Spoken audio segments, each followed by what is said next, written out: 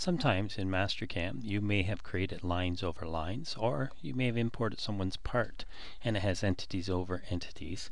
These can be quite a problem when we go to chain our geometry to tell it for machining what we want to machine. The delete duplicates, as you can see here, is show me there's no duplicates, but it only finds entities that are exactly over top of each other. We want to run a C-hook or user application, and I can do that by clicking the icon or from the settings drop down menu choose run user application. I'm going to scroll down until I find the find overlap DLL tell Mastercam to open it. Next the system will prompt me to select entities I want to check for overlap. So I'm going to window select all entities and my selection.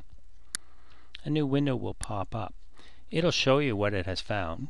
It already is highlighting the first overlapping entity, so you can see there's a line over top of a line, but they're not the same length. I can look at all these, or I can just say, I want to clean them up. So I'm going to tell it to clean up the entities.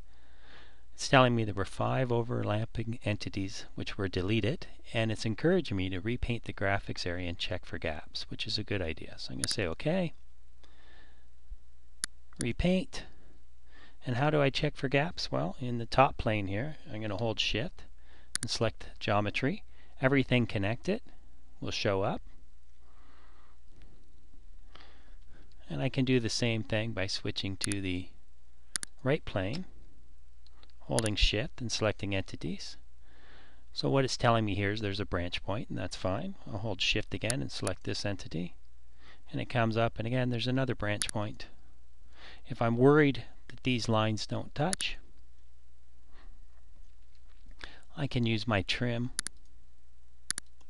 two entities, switch to the top view,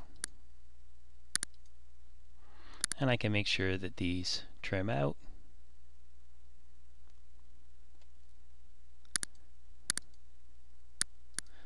by telling them to trim.